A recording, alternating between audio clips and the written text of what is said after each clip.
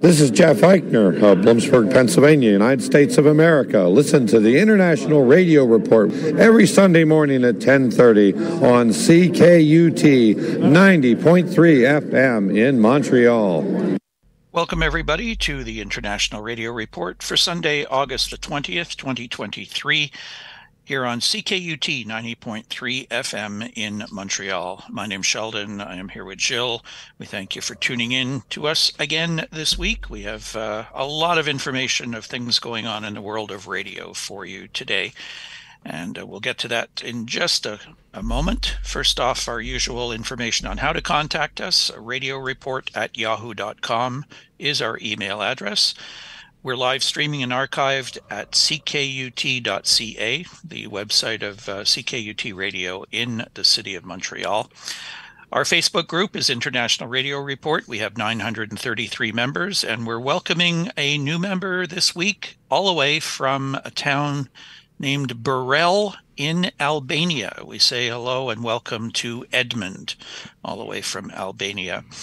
And our YouTube channel International Radio Report as well, and you can subscribe there and listen to our show whenever you like. And there are 861 subscribers. So uh, do check those out. Lots of good information, particularly on the Facebook page. But we should mention to start off today something about our Facebook page. You may have seen the postings that I put up that we're having difficulty with the new regulations here in Canada with respect to what Meta is doing with Facebook, and we are having difficulty posting links to some of the stories that we're talking about on the show. Jill, why is this happening? So, uh, because of the new regulations in Canada, that actually they want the uh, Meta to pay for news outlets. Uh, Meta is not happy, so they're blocking everything news and beyond, because a lot of what we try to post is not even news uh, technically, and it's still blocked. So we are figuring out a way to bypass this. Um, a couple of ideas came up. Posting links in the YouTube channel comments, not comments, but the, the description below the video. And uh, we might soon have a Twitter account that will have the links that you can actually subscribe and follow the problem arose last week. If you went to look for some of the stories that we covered and you saw that they weren't posted on the Facebook page as usual, the most bizarre one was that I could not post the list of upcoming ham radio contests. How and what in the system determined that that was sharing news is beyond us. So we apologize for some of the stuff that you're used to seeing on Facebook not being there. And as Jill said, we're going to try to come up with uh, some ways around this. We've some of the stories they did accept, others they didn't. So uh, we'll let you know in the weeks ahead. So uh, thank you for your understanding on that. It's been frustrating. I'm sure many of oh, you yeah. have had the same frustration going on in uh, groups or channels that you're involved with. So on with the stories. Uh, our first story this week is an update to um, something we talked about, previewed last week on the show, and that was the Ghosts in the Airglow transmissions organized and created by Amanda Dawn Christie, transmitted through the HARP transmitter site up in Alaska. Well, it happened. It was fascinating to listen to, even though some of us didn't hear the whole thing. Jill, you uh, you missed out. Uh, I, I need to bang my head somewhere on the table because uh, afterwards I was thinking, yeah, the tech guy. How about putting alarms on your phone when something's happening? exactly. Anyways, for those of you that heard it or those that didn't as well, or maybe you've heard part of it, I was tuned in. I did hear the whole thing. It was really fascinating to listen to. And uh, Amanda has posted a message on her Facebook page about it. We thought we would share it with you. Uh, she says, Thanks so much to everyone who tuned in. For those of you trying to watch the live stream, sadly, we had some technical problems there. Suddenly, my RSP2 didn't seem to be detecting anything, and the AirSpy HF Plus was getting excellent signals and audio, but we didn't realize that the audio wasn't streaming online until near the end of the piece. And neither of the SSTV images decoded on our end, partially due to some of the audio routing problems we were having. So while I'm disappointed that people who tried to catch the live stream didn't really get much, I have to say that I am thrilled overall. The feather and the lighting images worked. In less than a few hours, I've already had more than 40 reception reports from all over the world. And some of those reception reports have really beautiful audio quality of some of the sections we missed in our live stream. I'm going through the reports in the next few days to approve them and publish them in the repository. Overall, I think it went very well and was a success. I'm very, very happy with this piece indeed. But overall, uh, an extremely successful and really interesting project. Uh, something we've not, uh, you wouldn't expect to find on on on shortwave radio. So, coming up, we have a series of articles about uh, Maui um, and, uh, of course, all of the uh, emergency response that was happening there. And so, we have uh, first a audio clip from NBC News where radio hosts in Maui take calls to keep the community informed. And we're going to listen to that right now. Please, please, people are desperate. Babies need diapers and formula. The elderly need their medication. All right. All right. Well, hang, hang on. Hang on for just a second, okay? All right. Veteran radio host Ed Kanoi of KISS 99 takes the call from Napili, north of Ka'anapali. It just kind of rocks you to your core. It really does. It's hard to take those kind of phone calls. We hear them crying, their tears, uh, their desperate pleas. Um, it, it's real. It's very real for me. In another studio at Pacific Media Group, the Hawaiian music hosts are doing the same for their audience. From Olowalu, again, mahalo Lori, uh, letting us know that you are there and there are families there waiting for some kind of uh, supply uh, or any kind of food and supplies, and we are working on that for you. The DJ's efforts have been made harder in this disaster, they say, by the lack of information from the administration of Mayor Richard Bissen, who's only been in office seven months and has rarely been available since the fires. It's been very frustrating try, trying to get people to talk, not to us specifically, but to talk through us to reach the people that really need to hear their voices. And when we don't have those details available to us for them, it's it's frustrating for sure. I just wish we had more from them. We need our leader to step up and guide us on what to do. We have people out there waiting for any kind of contact. Doing I come early in the morning and it's hard when we don't have any access to any information. I've called the mayor's wife and asked, is there any way he can talk with us? I haven't gotten a response back yet. You know, I was in Hurricane Iniki and I know what it's like to be without power, without food, without water and not have any information come your way. I go home and my sister looks at me like, "Are you okay?" I'm like, "I shouldn't be here. There's more that I can do."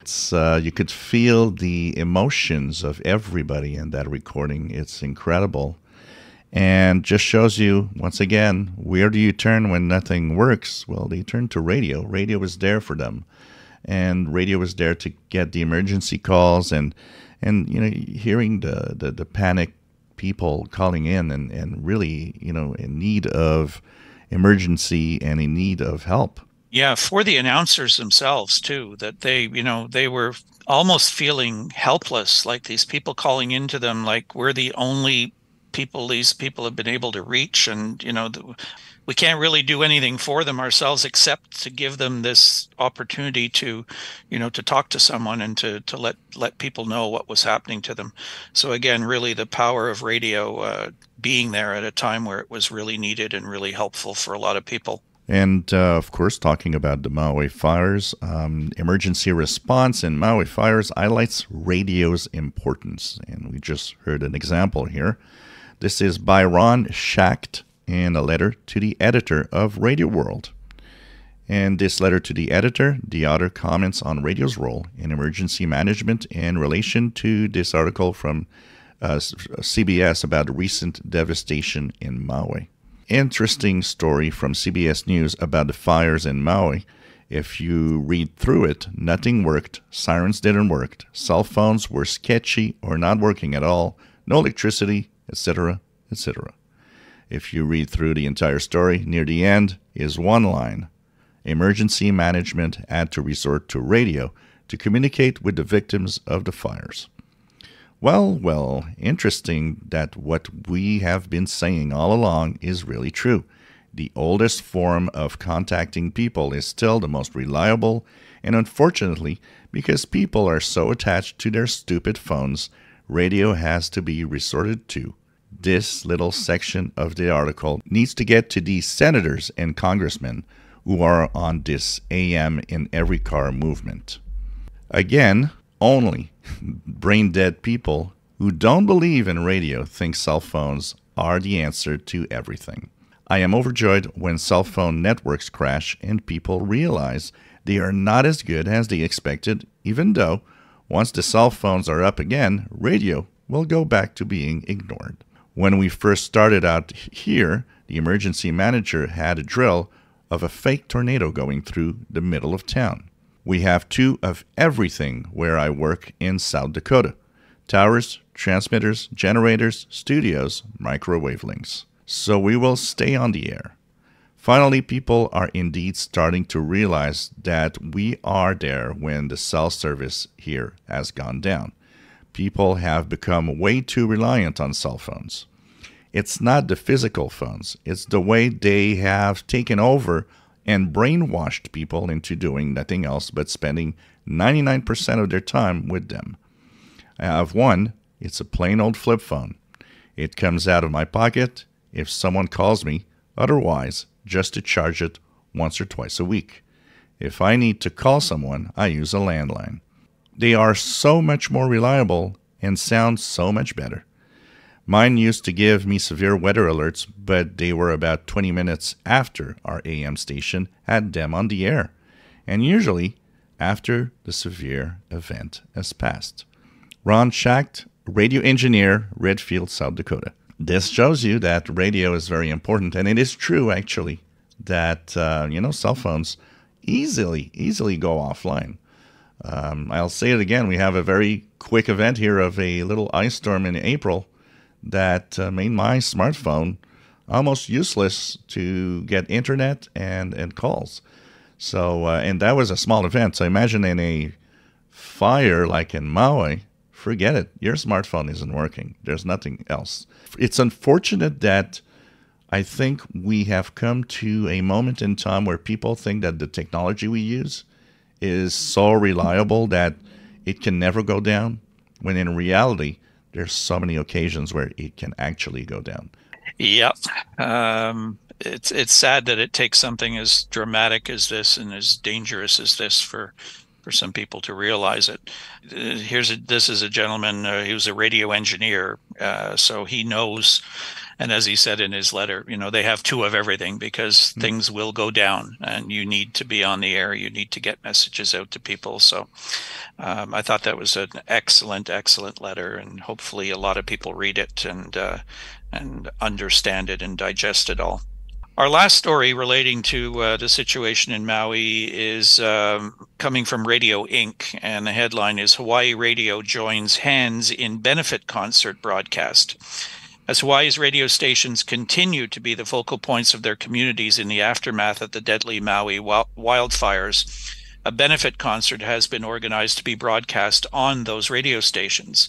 Maui Ola, a benefit concert for Maui, will be held on Sunday, August the 20th, so that's today, 5 p.m. to 9 p.m. Hawaiian time, which will be 0300 to 0700 UTC Monday uh, musicians and celebrities across the islands are coming together for the event, with 100% of the proceeds to be directed towards Maui's United Way, Hawaii Community Foundation, Hawaii People's Fund, and the Council for Native Hawaiian Advancement. The Oahu event will be hosted uh, at the Bishop Museum with radio stations such as 92.3 KSSK, Island 98.5, Hawaiian 105, KINE, KCCN FM 100, KQMQ, HI 93 FM, KAPA Hawaiian FM, and more carrying the broadcast. Zachary Lum, co producer and executive director of Kalui Leo Leah, emphasized everyone has an important and worthy contribution in our collective effort to bring comfort to our families on Maui. In normal circumstances, the production and creative media industries are usually synonymous with entertainment.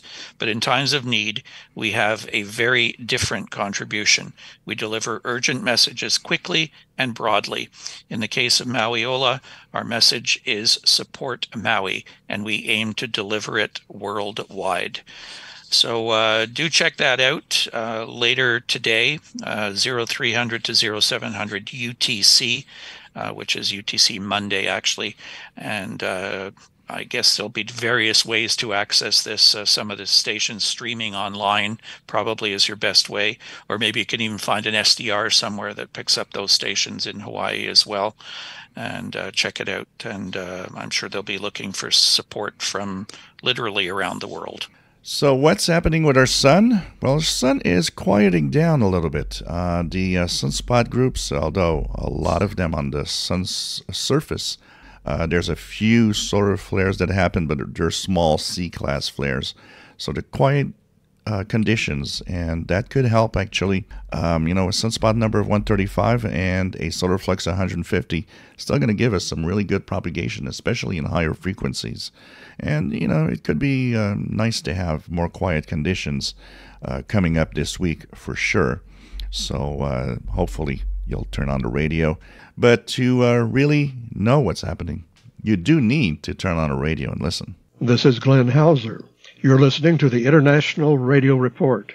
30 minutes of radio news and information every Sunday morning on CKUT 90.3 FM in Montreal and online at ckut.ca. So, in our next story, uh, RTDNA reveals radio's 2023 Edward R. Murrow Award winners. This is via the Radio Ink. The Radio, Television, Digital News Association has announced the national winners of the 2023 Edward R. Murrow Awards. This prestigious recognition honors over 100 outlets across radio, digital, and television journalism. This announcement follows the regional winners announced in May. The awardees will be celebrated at the Edward R. Murrow Awards Gala, scheduled for October 9th at the Gotham Hall in New York City.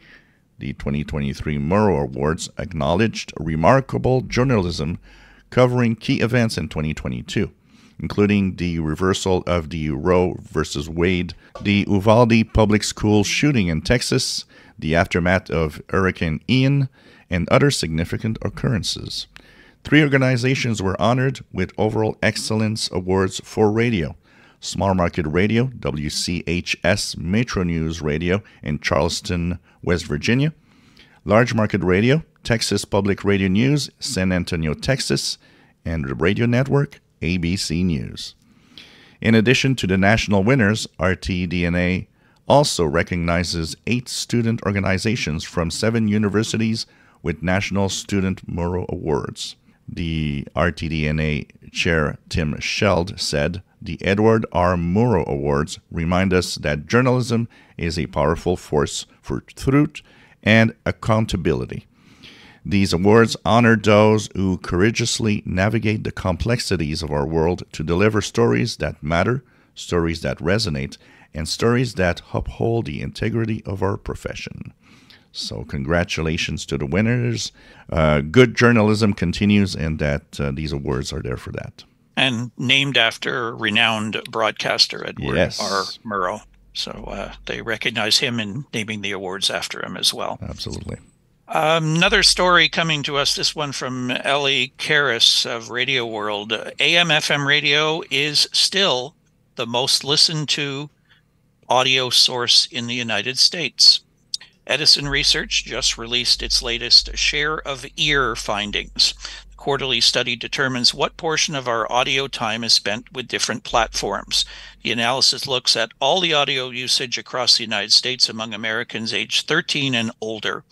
The data is gathered uh, from a detailed one day diary entry administered either online or via mail. Share of ear data has been continuously updated since 2014. Per Edison's findings this quarter, AM and FM radio, counting both over the air and streams, accounted for 36% of all listening of Americans aged 13 and older. Streaming music via platforms like Spotify, Pandora, and Apple Music, among others, accounted for 18% of all listening time. Using YouTube for music and or music videos accounted for 14% of all listening time, followed by podcasts, SiriusXM, and owned music. In other words, uh, CDs and other digital music files. Uh, bringing up the rear in terms of audio listenership are TV music channels and audiobooks, each with just 3% of all listening. So there were some changes of note since the first quarter. AM FM radio is down one point. Owned music dropped two points. Podcasts gained one point to another new all time high of 10% of all listening, and audiobooks gained one point. When Edison completes the next two quarters of share of ear in 2023, it will have compiled 10 years of data. Audio has changed dramatically over the last 10 years, and we have captured the changes along the way, said Edison in its weekly Insights email. In 2014, when we started, just over half of Americans had a smartphone. Today, well over 90% do. When we began, far more people had radio sets in their homes or at their workplaces. And of course, no one had even heard of a smart speaker. So some things change, but some things don't. Yep, and um, you know it's it's nice to see that AM/FM radio is resisting the technology changes that we have. I mean, in the last ten to twenty years, it's dramatic how we actually use devices that we have in our pockets that can do everything. We didn't have that twenty years ago, and uh, AM/FM still up there. It's still listened to, and I think uh, it shows that. Um, you know, to all of those out there that think that radio's dead, maybe not so. I would like to see the breakdown though, because they do say from age 13 upward. Um, yeah. You'd sort of see, need to see more of an analysis broken down by age groups as well.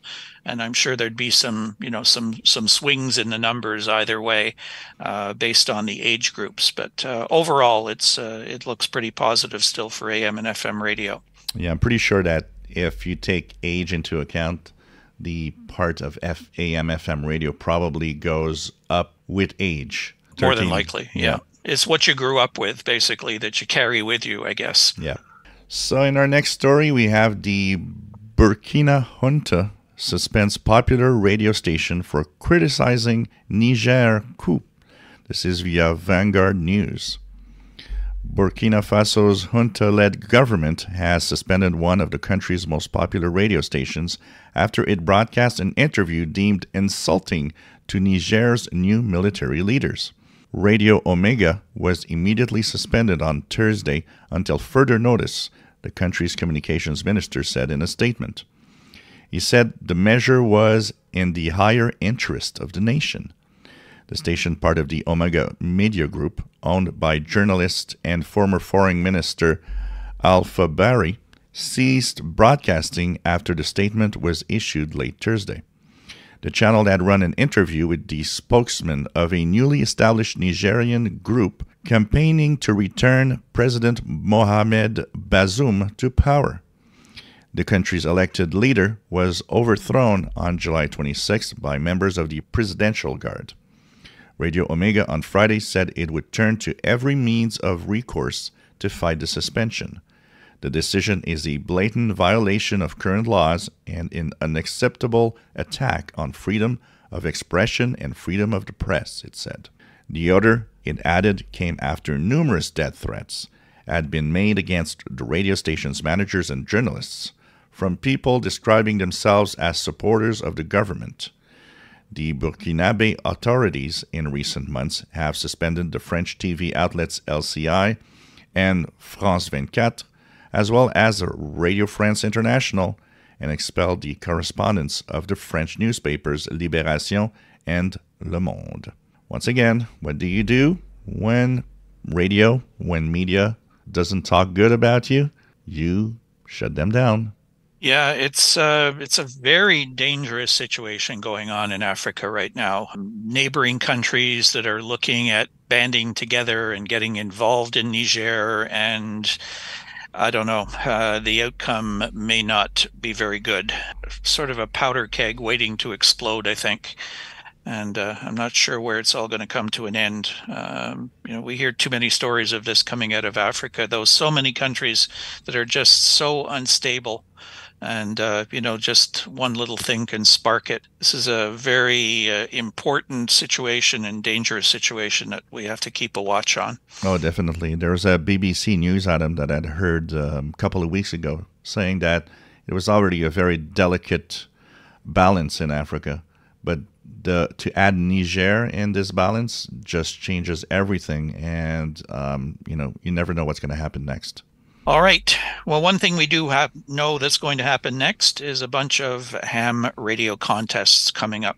The first one, I'm a little surprised. I'm not actually sure this yeah. will actually go ahead, to, to be honest, but it's the Hawaii QSO party uh, 0400 August 26th to 0400 August the 28th. It's organized by the Hawaii QSO Party Group.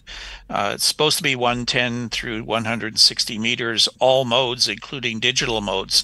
Now, we did receive word from a CIDX member who lives in Hawaii, fortunately not in Maui, but he did say that amateur radio has been very active with uh, emergency relief traffic and that sort of thing, health and welfare traffic.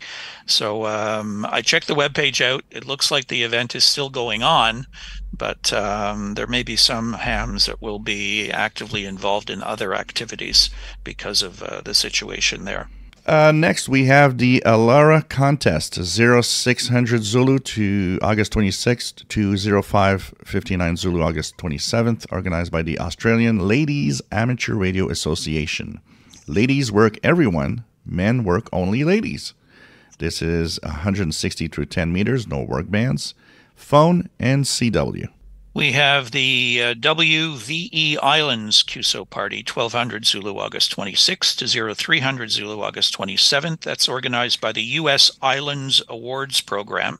Uh, W and VE Island stations work everyone, and non island stations work only the W and VE Island stations.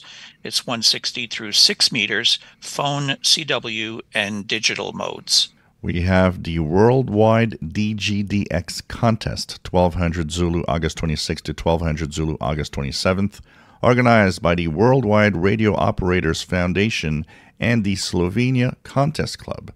Bands, six bands only 1.8, 3.5, 7, 14, 21, and 28 megahertz. Modes, FT4 and FT8 only. The Romanian Amateur Radio Federation is organizing their DX HF contest at 1200 Zulu August 26th to 1200 Zulu August 27th. The bands are 80 through 10 meters, no work bands. That one will be SSB and CW.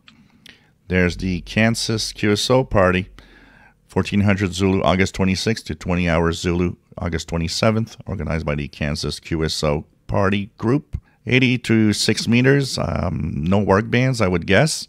SSB, CW, digital, and FM.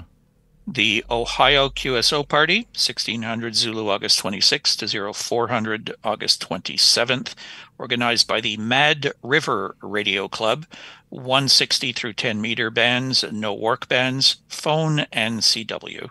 The CVADX contest, SSB, 2100 hours Zulu, August 26th to 2100 hours Zulu, August 27th, organized by the Club de Radio Amadores da Escola de Comunicação, Brazil. Bands 160 through 10 meters, and it's an SSB. Lots of activity on the ham bands next weekend. As for us, we have to check out uh, we are through for this week. Uh, 30 minutes has gone by quickly, as it always does. We thank you for tuning in to us. Uh, we'll be back again next Sunday here on CKUT 90.3 FM in Montreal with our next edition of the International Radio Report. Thanks for tuning in. Have a great week. Bye bye.